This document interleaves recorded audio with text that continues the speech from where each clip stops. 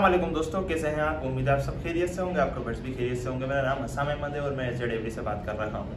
आज की वीडियो में मैं आप लोगों को बताऊँगा कि कैसे हम जेंडर कंफर्म करते हैं लव बर्ड्स के अंदर। कैसे हमें मालूम होगा कि हमारे पास जो बर्ड है, वो मेल है या फीमेल है?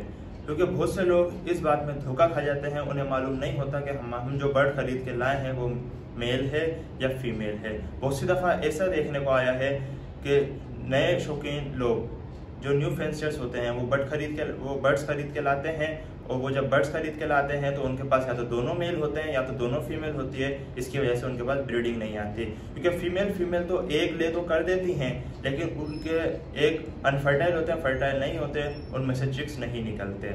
और मेल तो एक ले ही नहीं करते।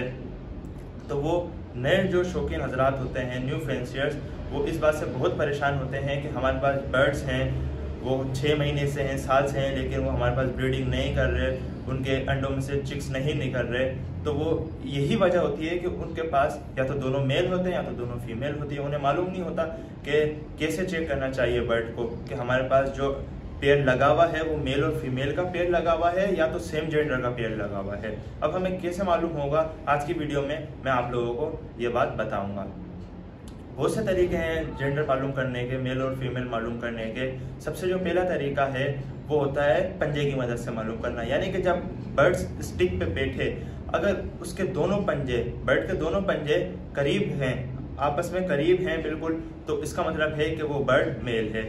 अगर बर्ड के पंजे दूर दूर हैं बर्ड के पंजों के दरमियान फासले ज़्यादा है तो इसका मतलब है कि वो बर्ड फीमेल है।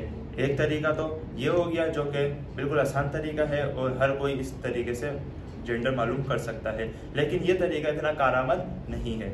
अब जो दूसरा तरीका है, वो है दुम की मदद से जेंडर मालूम करना। यानी कि जब आपका बर्ड स्टिक पे बैठेगा तो आप उसकी दुम को देखें। अगर उसकी दुम यू शेप की है, अगर उसकी दुम का शेप यू है, जैसे कि इस तस्वीर में नज़र आ रहा है तो इसका मतलब ये है कि आपका जो बर्ड है, वो फीमेल है। अगर उसकी दुम का शेप वी है जैसे कि इस तस्वीर में नज़र आ रहा है आप लोगों को तो इसका ये मतलब है कि आपका जो बर्ड है, वो मेल है। इस तरीके से भी हम लव बर्ड में मेल, फीमेल मालूम कर सकते हैं और ये तरीका काफ़ी कारामद भी होता है। अगर मैं तीसरी तरीके की बात करूँ तो तीसरा तरीका होता है हड्डी का तरीका। अब हम हड्डी के तरीके से कैसे मालूम करेंगे, ये मैं आपको बताता हूँ। जैसे आप ये देख रहे हैं, अब हम ऐसे भी मालूम कर सकते हैं इसका जेंडर मेल है या फीमेल है, ये जो बीच में हड्डी होती है। अगर इस हड्डी के दरमियान गैप ज़्यादा है, आप ऐसे उंगली लगाएँ। अगर इस हड्डी के दरमियान गैप ज़्यादा है और हड्डी नरम है तो इसका मतलब है कि आपका बर्ड फीमेल है। अगर इसके दरमियान गैप कम है और सख्त है तो इसका मतलब है कि आपका बर्ड मेल है। हमने पंजों के तरीके से ही मालूम कर लिया कि कैसे मालूम होगा। हमने दुम के तरीके से ही मालूम कर लिया। हमने हड्डी के तरीके से ही मालूम कर लिया। और जो चौथा तरीका है, वो है पेंडुलम का तरीका। इस तरीके को बहुत लोग यूज़ करते हैं। अब पेंडुलम का तरीका कैसे होता है, हम कैसे इसे इस्तेमाल करते हैं बर्ड के ऊपर कि हमें जो पता लगे कि हमारा जो बर्ड है, वो मेल है या फीमेल है। सिंपली इसके लिए कुछ चीज़ें दरकार होती हैं। सबसे पहले तो आप एक नेल लें या एक रिंग लें।